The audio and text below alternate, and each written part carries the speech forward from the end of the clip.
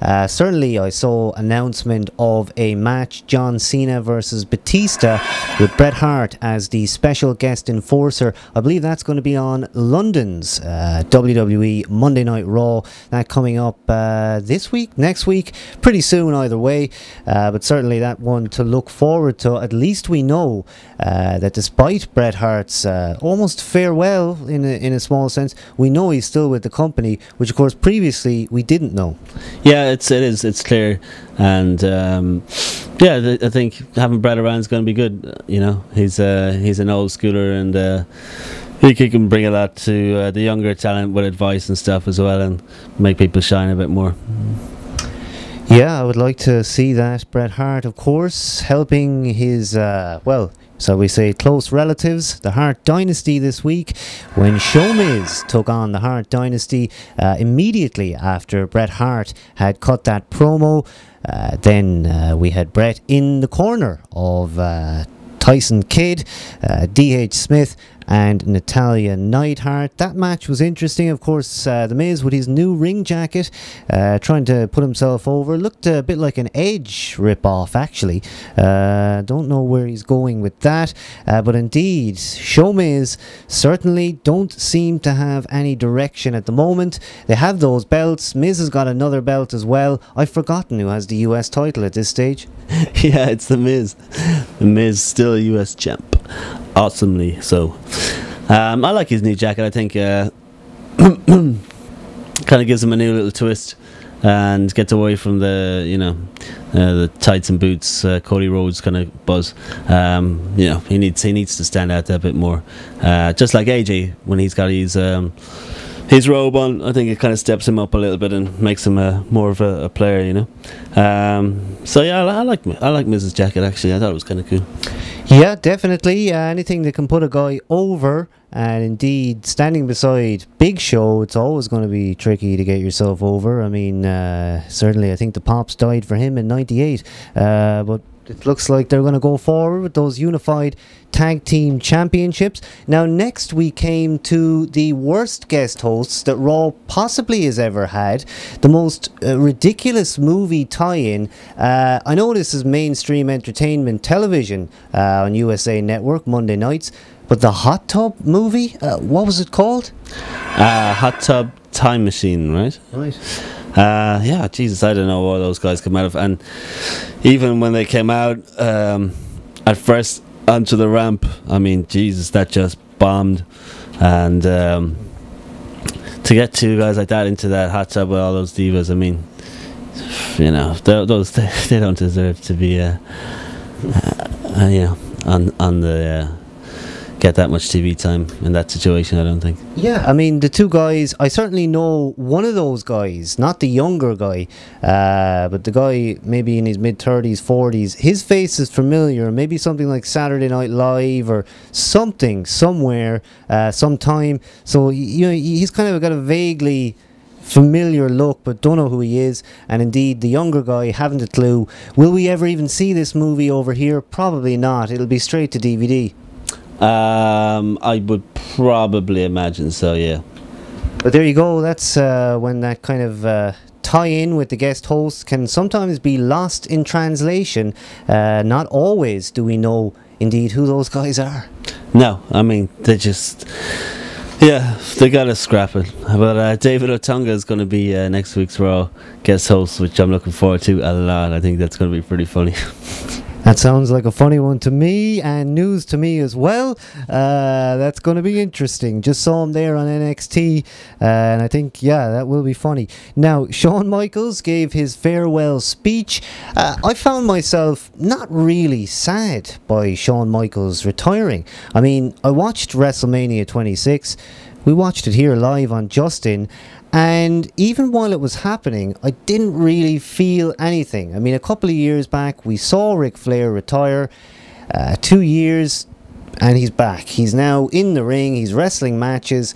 I mean, you just don't feel when you see someone like Shawn Michaels. He looks healthy. He might have pains we don't know about, but he isn't over the hill. He can still work. We're going to see him back, right?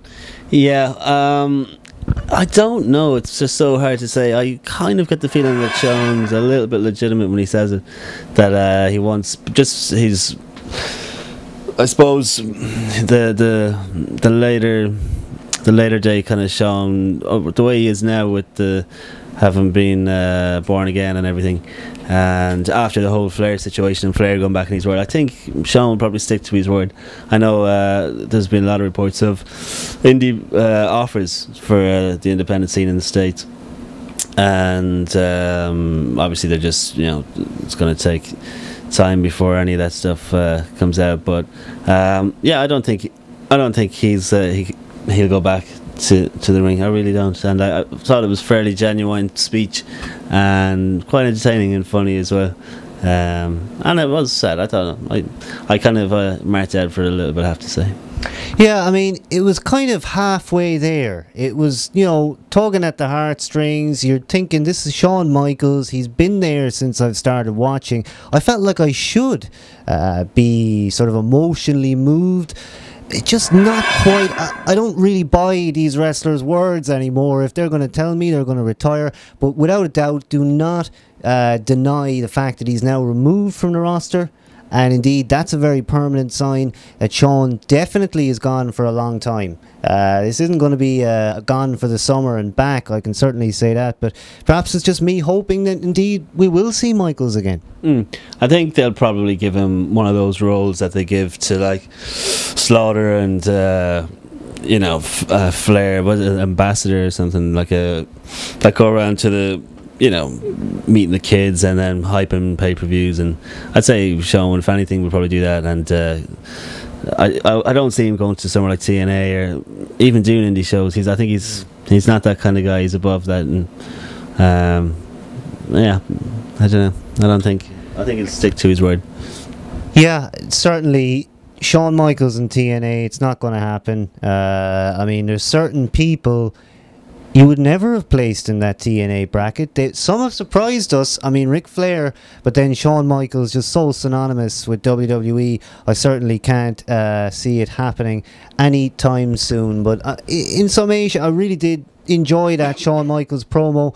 Uh, I did feel something, uh, but certainly I was kind of waiting for him to say, you know, I'll be back soon. It's just that familiarity. It's so hard to imagine uh, WWE without a Shawn Michaels or indeed without an Undertaker, which, I mean, so far we still have.